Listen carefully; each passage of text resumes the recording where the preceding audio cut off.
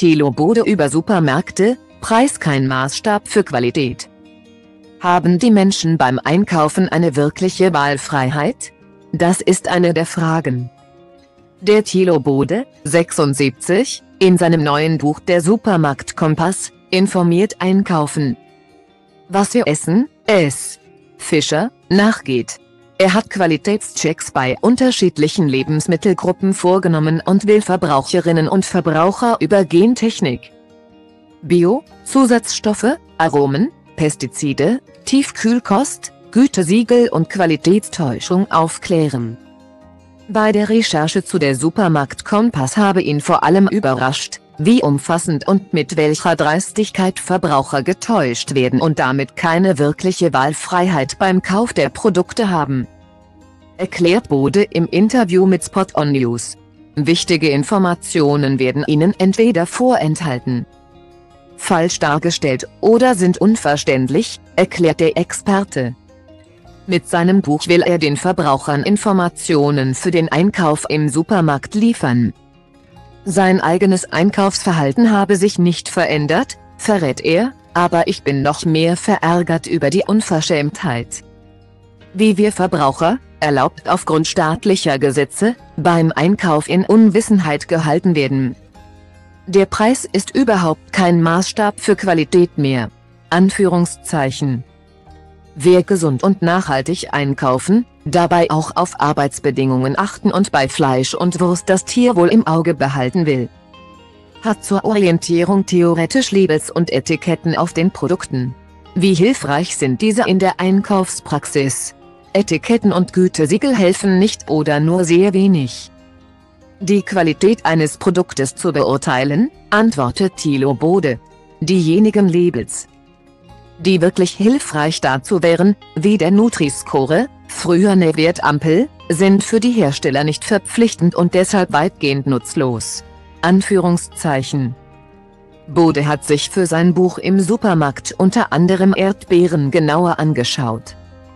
Sein Rat, um hier beim Einkauf an die bestmögliche Qualität bei fairen Produktionsbedingungen zu kommen? Die bestmögliche Qualität besteht heutzutage aus faden, geschmacksarmen Sorten. Erdbeeren würde ich, wenn überhaupt, nur in der Saison und dann nur aus Deutschland kaufen, aber mich im Supermarkt über den Herkunftsort und den Hersteller informieren. Anführungszeichen. Bio-Lebensmittel erfreuten sich zumindest vor der Teuerkrise großer Beliebtheit. Bode erläutert, dass das Bio-Siegel keine umfassende ökologische Herstellung garantiert. Rindfleisch, Milch und Käse verursachen eine vergleichbare große Menge an schädlichen Treibhausgasen wie konventionelle Produkte. Sagt der Autor. Die Tierhaltung bei Bio schützt Tiere nicht vor schmerzhaften Krankheiten weil es sowohl für die konventionelle als auch die ökologische Tierhaltung keinen staatlich vorgeschriebenen Gesundheitsschutz gibt.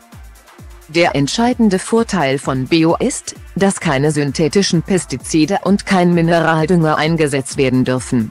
Anführungszeichen. Viele Menschen müssen derzeit beim Einkaufen vermehrt aufs Geld achten.